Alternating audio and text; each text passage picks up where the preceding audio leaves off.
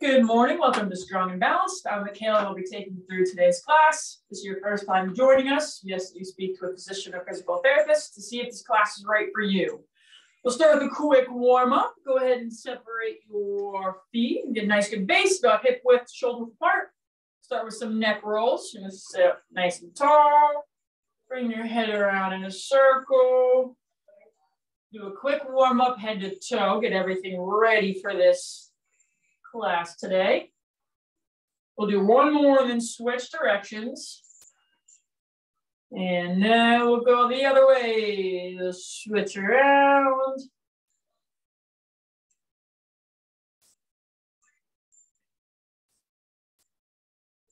And we'll do one more.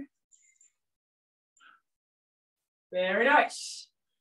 Next up, you're gonna bring your arms out to the side. You're gonna keep your chest up. You wanna keep that belly button in with that pelvic tilt. Try to bring these arms around in a circle, nice and controlled. We can start with even small circles, make them a little bigger if you'd like. And three, two, one. Now we'll switch directions. Let's go backwards. And nice controlled circles. Keeping that chest up. And three, two, and one. Go ahead and relax. Next one, you can separate your feet a little wider. We're now gonna do some twist side to side, right? Warm up our torso. So you can go from one side over to the other. You even swing your arms if you'd like. Have them nice and relaxed. You even move your hips a little bit. Go from side to side. Warming everything up, getting ready. And three, two, and one. Go ahead and relax. Next up, we'll do our one final warm up. We're gonna now warm up our legs. Do it two different ways. You can do step side to side, or you can add in a small lunge behind if you'd like. A small step behind. You can add in some upper body movements if you'd like. Going from one side to the next. You can switch it up, do some steps, some lunges behind, do whatever you feel most comfortable. You know, we're getting our legs warmed up, getting the heart rate up a little bit with this one. And three, two, and one. Very nice. Next up, we're gonna do some heel toe raises, all right? All these exercises you can do next to something if you want some more support, whether it's the wall, countertop. So you start, we're gonna go up on your toes, and then back on your heels, all right? So if you need to, you can hold on to something in front of you or next to you. And when you do this, get that pelvic tilt. So that means bringing that belly button in, shifting those hips down, squeezing those core muscles. And you want nice soft knees, right? So just a slight bend, doesn't have to be a very big bend. That helps with balance. If you're thinking, if you're, you know, when you go skating or skiing, anything like that, when you're on, you know, nice slippery surface, it helps when you have that slight bend in your knees, right? You have better balance that way. So we have that in our everyday lives as well. There's that slight bend, especially walking across the ice in the winter. That will help. Yeah, let's do two more. So you got two and your final one. Very nice. Next up, we're gonna get into our balance stance. We have four different balance stances. They progress more challenging as we go. First one is just feet together. Second one, you can have one foot in front of the other with some space between them. Third one, you have heel toe. So once you start bringing them closer together, it's more challenging. Hardest one is single leg. So we're gonna do our balance stance. We're adding some head turns side to side, all right? So get our balance stance and we'll go 30 seconds each leg. Here we go. So we're gonna look from one shoulder over to the other. And remember that Nice soft knee, keep your chest up. Looking from one over to the next. Again, that pelvic tilt and that um, slight bend in the knee will help with this exercise. Again, you can do it next to something if you'd like some support.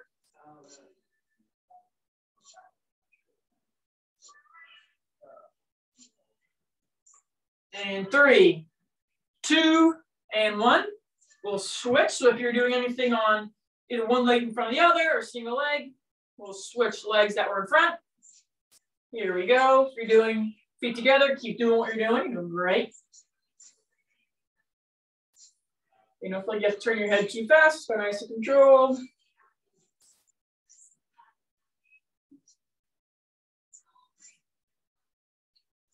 Everyone's looking good, almost there.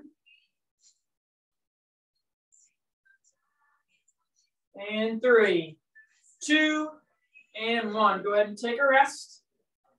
Next one we'll do, we're gonna use some hand weights. You can either use hand weights, you can use, you know, cans of soup, laundry detergent, water bottles, anything with that will add some resistance, or you can do just the motions.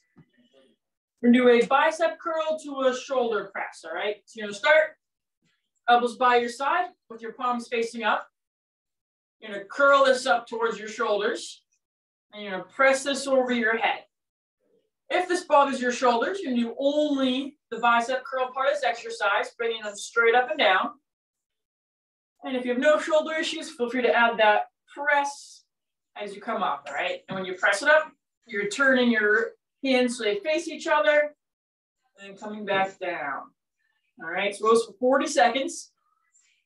Again, you want that nice good base with your feet, about hip width, shoulder width apart, those nice soft knees and that pelvic tilt, right? Engage that core. So you're gonna do just the bicep curl or you can add an press. Either or.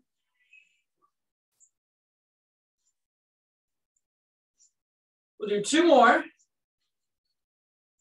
Two. Let's do your final one. Nicely done. Just place these weights off to the side.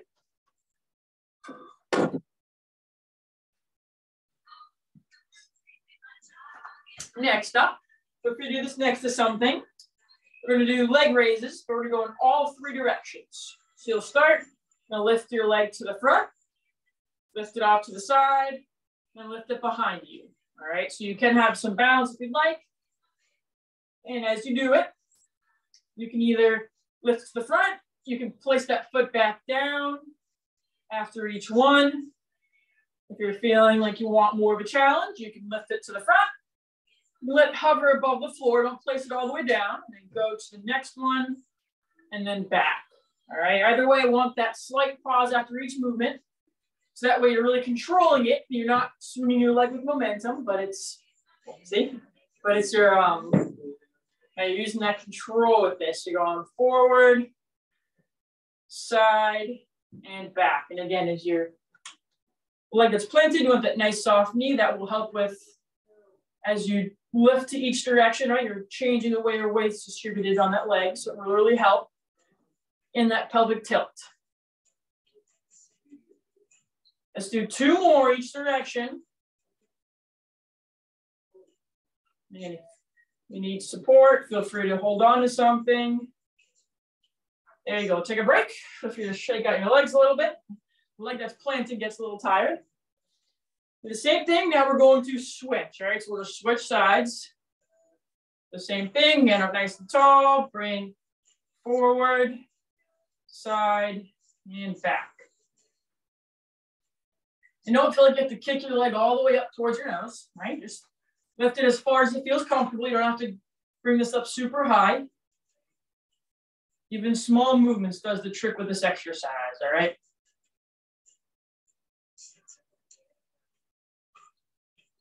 And keep going, almost there. Let's do one more each direction. Very nice. Again, feel free to shake out those legs a little bit. Next, we're gonna add in a quick stretch. We're going to do a hamstring stretch. So with this one, again, you can do it holding on to something. It might give some more balance, might feel um, a little more steady with it. So you have one leg straight, toe point towards the ceiling. Opposite leg is going to bend, all right? You're gonna try to keep your upper body in a nice line. You're going to Sink your hips back as you bring your chest forward, bending that opposite leg, all right? So you're coming forward, keep that leg straight, and you'll feel stretch all the back leg that's straight, all right? You'll go to a point where you feel a stretch. You can rest your hands on the opposite leg. You can rest them on something in front of you or next to you. And again, you'll go bend forward just till you feel that stretch in the opposite leg. Don't force anything. You don't have to get your nose to your knee.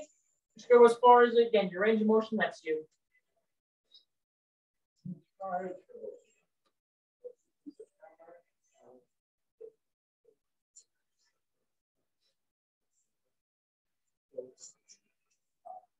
And three, two, one. Slowly come out of that. And we will switch. So again, keep that leg straight, bend forward at that hip, taking your hips backwards, keeping the other leg one straight, the other one will start to bend.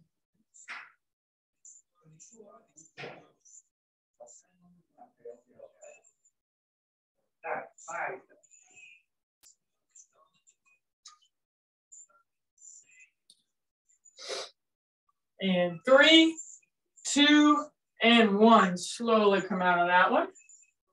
Very nice.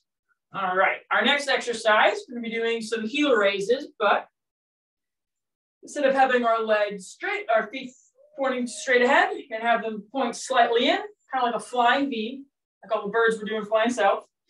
So your toes pointed in, and same thing, go up on those toes, back down for your heel raise, all right? So coming straight up and down, Again, if you need to hold on to something, feel free, or you just have it near you as you're coming up and down.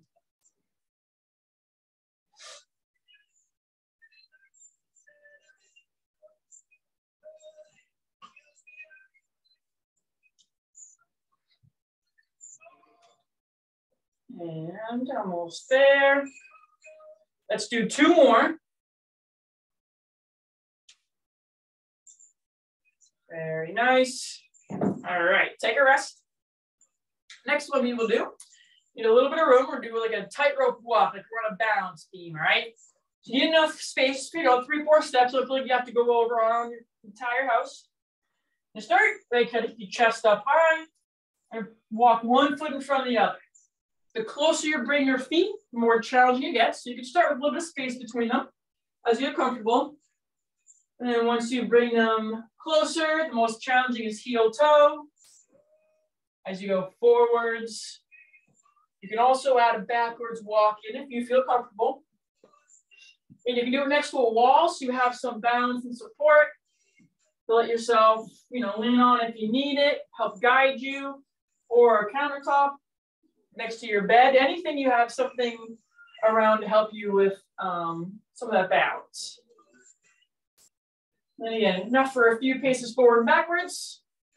Heel toe is the hardest way. You can space them out a little more if you need it. And you can add that backwards walk.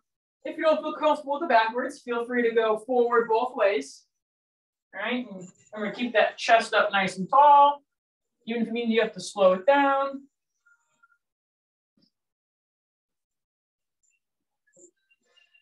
We'll go one more down and back.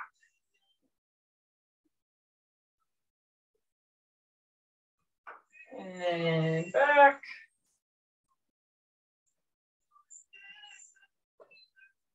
Very nice. All right, let everyone finish with that one. Do one more exercise, then we're gonna take a break and we'll move down to the floor for exercises. The next one you will do is a, um, or, oh yeah, march, sorry. Do a standing march. so stand up nice and tall. You can have your hands on your hips by your side. You can cross them over your shoulders. Gonna lift one leg up, bring it down, and alternate. All right, so like you're leading the marching band. Bring one leg up, and again, if you need to hold on to something, feel free to hold on to something next to you as you're bringing this up and down. And this is where that pelvic tilt comes in handy. This will be good core work bringing this up, bringing it down. Again, you can hold on to something if you'd like. And we're almost there. Let's go. One more each side. Very nice. Now we'll take a quick break. Feel free to get some water. Um, we're gonna now move down to the floor. You can do it from your floor, a mat, your bed, whatever's most comfortable for you at home. Feel free to use a pillow if you'd like for underneath your neck. You won't use weights. So we'll meet back here in a minute or two and finish off with class, all right?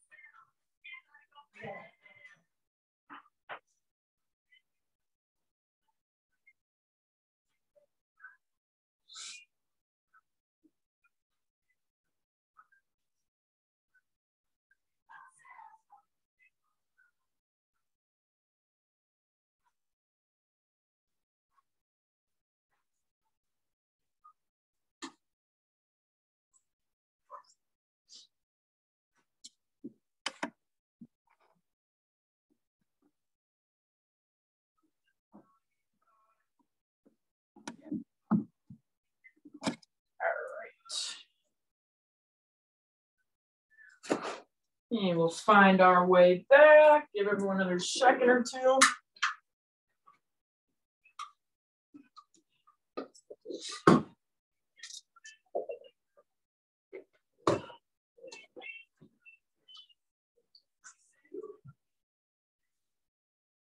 All righty.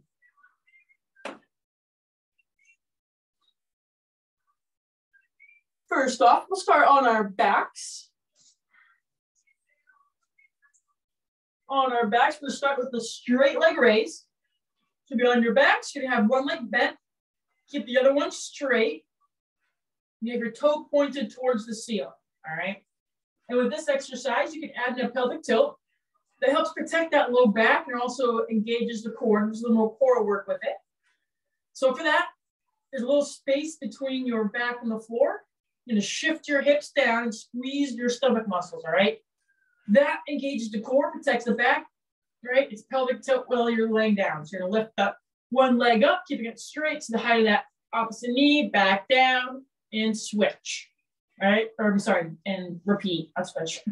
And keep your arms by your side. And we'll go for 30 seconds each side. Again, you can have that pelvic tilt. Have good control with this exercise. Let's go. Two more. Very nice. Now we shall switch sides. Now same thing. Keep one leg straight, toe pointed towards the ceiling, raising this up towards the other knee and back down. Nice and controlled. Everyone's looking good.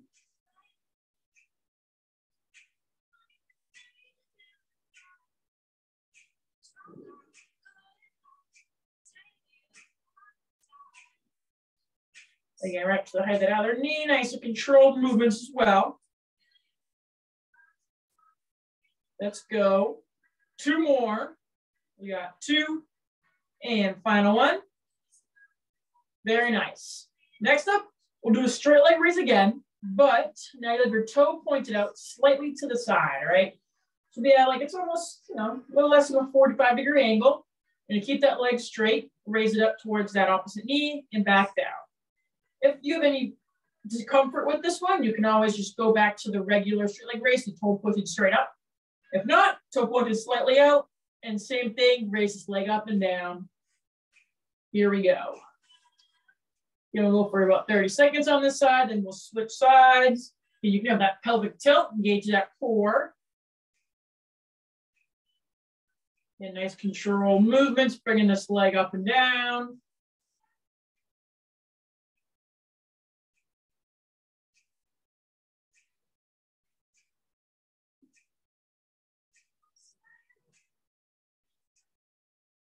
Let's do two more.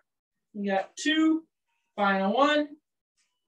Very nice. Now we'll switch sides, same thing.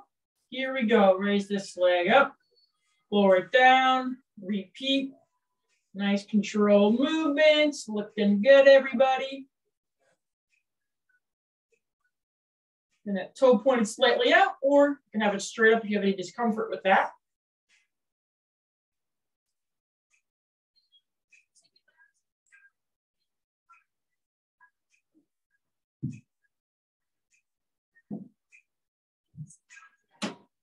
Let's see, you got two more. You got two. Final one. Very nice.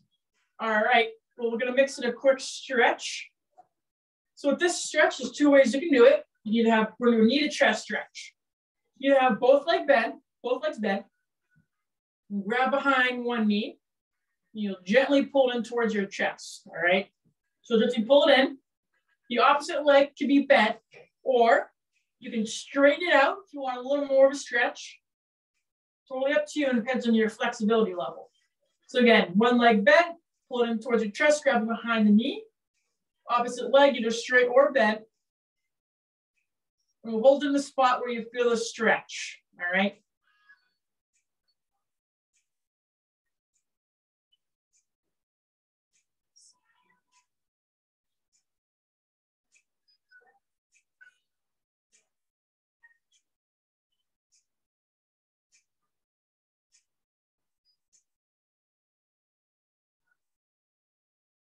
And three, two, one. Slowly come out of that stretch. Now we'll switch sides. Again, grab behind that one knee, gently pulling towards your chest. And hold that um, bent leg in the point where you feel the stretch. Don't feel like you have to force anything.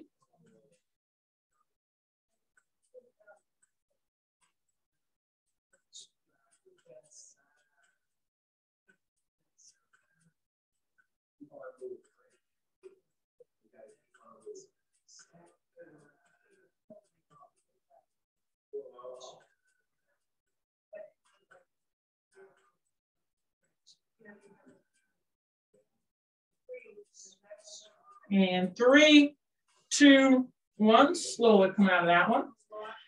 Next up, you have both legs bent. We'll do a lower trunk rotation. So keep your legs together and bent. Have your arms out towards the side. And slowly lower your legs towards one side of your mat or your bed. You'll bring them back to the center and then lower them towards the other side. All right. You can add in a slight pause if you want a little more stretch with this exercise. One over to the other. Again, nice controlled movements.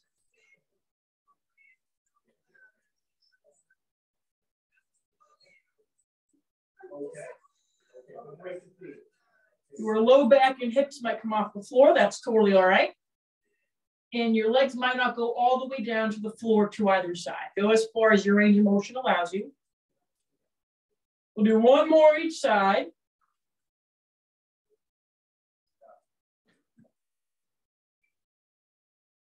There you go. And we'll do one more exercise on our back, then we'll roll over for the final ones. Next up, there's two different ways we can do this, all right? The first one, both of them, you can have that pelvic tilt, right? So shifting your hips down is a march.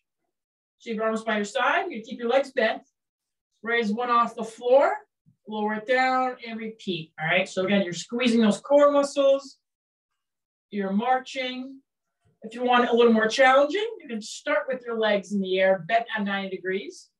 Lower one down to the floor while keeping the other one there and switching. All right, so you're lowering one and the other as you're doing this exercise.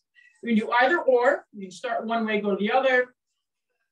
Legs in the air is more challenging than the march. So go based on your comfort level.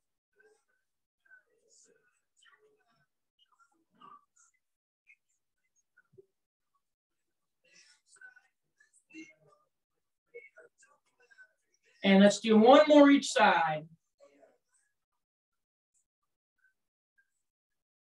Very nice. Our last exercise, you'll go onto our side. So pick either side to start. You'll be on your side. You'll have your hips stacked over each other. You can have the top leg straight, bottom leg can be either straight or you can bend it, whatever's most comfortable for you. And keep that toe so it's flat, all right? You're gonna lift up that top leg, lower it down and repeat, all right? When you do it, make sure you're keeping your hips stacked over each other. You're just raising this leg up and down. And don't feel like you have to go very high with it either, right? Go as far as your range of motion lets you while staying with good form, all right?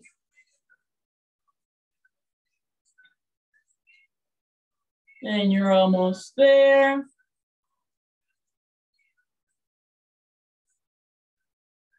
Let's do two more.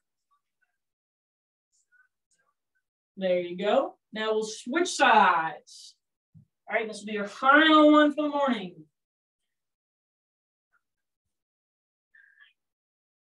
So same thing on your side, hips stacked over each other, legs straight, bringing this leg up and down. All right. Our final one of the morning. Keep going, you're almost there.